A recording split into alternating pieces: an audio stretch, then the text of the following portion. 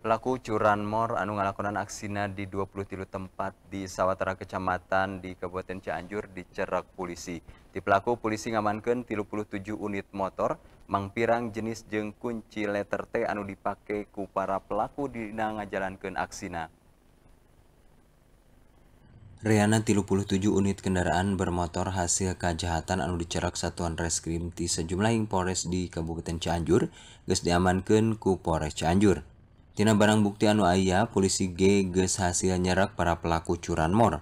Para pelaku diamankan di 20 tilu TKP anu beda di sejumlah kecamatan, satu tas ngelakonan aksina di kawasan wilayah hukum Cianjur.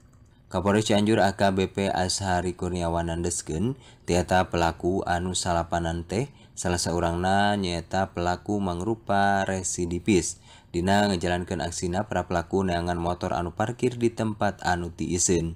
kena keterangan para pelaku dirina ngajual motor menangi wate kapasisian Cianjur jeng luar Cianjur dina harga anu beda-beda timimiti tilu juta tapi ka 8 juta hijina.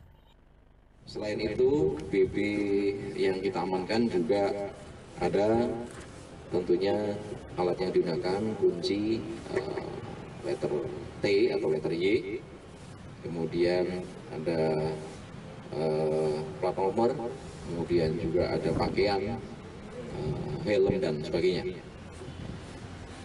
Pengungkapan kasus ini bermula dari uh, adanya laporan dari para korban yang dilaporkan ke Polsek maupun ke Polres Cianjur. Balukan laku lampana para pelaku dijerat pasal tilu genep tilu ayat hiji kalawan ancaman hukuman 5 tahun atau salapan tahun bui. Heri Setiawan, Bandung TV